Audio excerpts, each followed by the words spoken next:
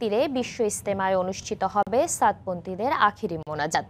হেদায়তি বয়ানের মধ্য দিয়ে সকাল থেকে শুরু হয় কার্যক্রম। এই মুহূর্তে ইস্তেমা ময়দানে আছেন রিপোর্টার খান মহেল এবং শাহরিয়াজ জামানদ্বীপ প্রথমেই যাচ্ছি রুমেলের কাছে। রুমেল সাদিলা, যে ঘোষিত সময়, সে অনুযায়ী কিন্তু অল্প কিছু সময়ের মধ্যে আখেরি মোনাজাত শুরু হওয়ার কথা। কারণ গতকালকে জানানো হয়েছিল, আজকে সকাল দশটার সময় আখেরি মোনাজাত এখানে অনুষ্ঠিত হবে। আমরা যেটি জেনেছি, আজকে আখেরি মোনাজাত পরিচালনা করবেন ভারত থেকে আগত মালানা শামীম আহমেদ। তিনি তাবলিক জামাতের অন্যতম শীর্ষ মুরব্বী।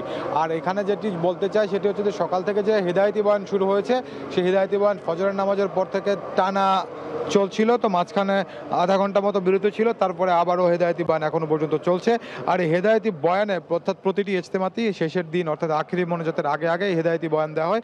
সেখানে তাবলিক জামাতে যে ছয়টি উসুল রয়েছে, সেই ছয়টি উসুল বা ছয়টি পয়েন্ট সম্পর্কে মুসল্লিদের উদ্দেশ্যে বক্তব্য রাখা হয়, মুসল্লিদের উদ্দেশ্যে বয়ান দেওয়া হয়। তো সেই ছয়টি বিষয় সেটি আপনাকে জানাতে চাই, সেটা হচ্ছে যে প্রথমটি হচ্ছে ইমান অর্থাৎ আল্লাহর উপর পূর্ণ বিশ্বাস স্থাপন করতে হবে।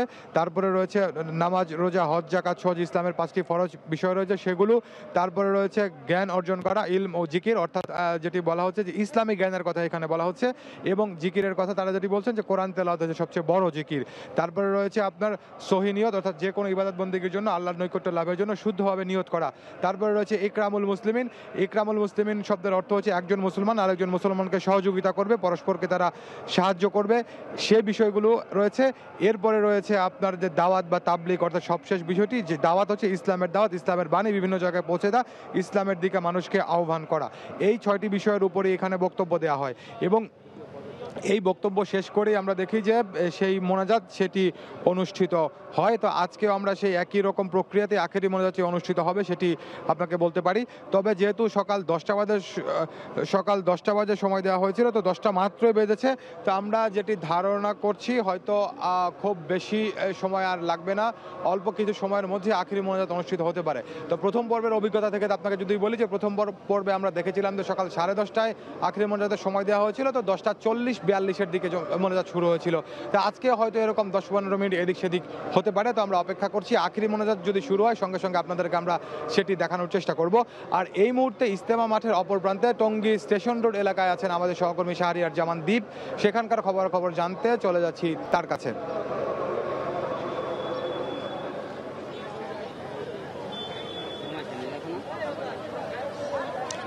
ধন্যবাদ, রুমেল সহকর্মী রুমেল ঠিক যেমনটি বলছিলেন যে ফজরের নামাজের পর থেকে কিন্তু আমরা দেখতে পেয়েছি যে আখিরি মোনাজাতে অংশ নেওয়ার জন্য ঢাকা এবং ঢাকার বিভিন্ন জায়গা থেকে কিন্তু মুসল্লিরা এখানে আসছেন এবং আখিরি মোনাজাতে আর অল্প কিছুক্ষণ বাকি আছে, এখনও কিন্তু মুসল্লিরা আসছেন। এবং এই মুহূর্তে আমি রয়েছি টঙ্গীর স্টেশন রোডে। সেখানে আমরা দেখতে পেয়েছি যে আশেপাশের বিভিন্ন জায়গা থেকে কিন্তু মুসল্লিরা আসছেন এবং যে যেখানে জায়গা পাচ্ছেন সেখানে কিন্তু মোনাজাতের প্রস্তুতি নিচ্ছেন। এখানে আমরা দেখতে পেয়েছি নারী নারীরা যেমন রয়েছে, তেমনি পুরুষরাও রয়েছে। এছাড়া একটু বলে রাখতে চাই যে আমরা দেখতে পেয়েছি যে সার্বিকভাবে নিরাপত্তা ব্যবস্থা কিন্তু কঠোর করা হয়েছে। অর্থাৎ অন্যান্য দিনের থেকেও আজকে নিরাপত্তা ব্যবস্থা কিন্তু আরেকটু জোরদার করা হয়েছে এবং আশেপাশের যে রাস্তাগুলো রয়েছে, সেই রাস্তাগুলো সকাল সাতটা থেকে বন্ধ করে দেওয়া হয়েছে।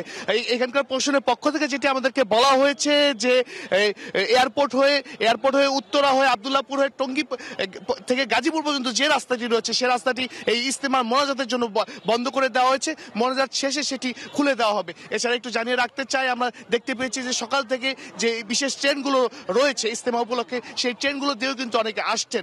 এবং তারা যেটি বলছেন যে অনেক কষ্ট করে তারা এখানে আসলেও এই আল্লাহর নৈকট্য লাভের জন্য এবং আখিরি মোনাজাতে অংশ গ্রহণ করতে পারাটাই তাদের জন্য আল্লাহর কাছে বিশেষভাবে তারা কৃতজ্ঞতা জানিয়েছেন। এছাড়া একটু জানিয়ে রাখতে চাই, যেখানকার যারা ইস্তেমা কর্তৃপক্ষ রয়েছে, অর্থাৎ দ্বিতীয় পর্ব যারা পরিচালনা করছে, সাতপন্থীরা, তারা আমাদেরকে যেটি জানিয়েছেন যে ভারতের মাওলানা শামীম, তিনি আজকে আখিরি মোনাজাত পরিচালনা করবেন এবং যতটুকু আমরা জানতে পেরেছি যে অল্প কিছুক্ষণের মধ্যেই এই আখিরি মোনাজাত অনুষ্ঠিত হওয়ার কথা রয়েছে এবং আখিরি মোনাজাতকে কেন্দ্র করে আমরা যেটি দেখতে পেয়েছি যে শুধু ইস্তেমা মাঠ নয় ইস্তেমা মাঠের আশেপাশে যে জায়গাগুলো রয়েছে, সেই জায়গায় কিন্তু মুসল্লিদের প্রচণ্ড ভিড় রয়েছে এবং এখনও বি- বিভিন্ন জায়গা থেকে কিন্তু মুসল্লিরা আসছেন।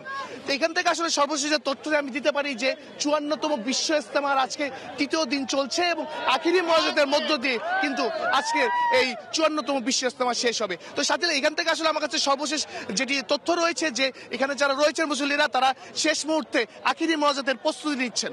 সাতিলা। সাতপন্থীদের মোনাজাতের মধ্যে দিয়ে শেষ হচ্ছে পাঁচ দিনের বিশ্ব ইস্তেমা। সেই খবর জানাতে আমাদের সাথে যোগ দিয়েছিলেন সহকর্মী শাহরিয়ার জামান দ্বীপ এবং এর আগে খান মোহাম্মদ রুমেল।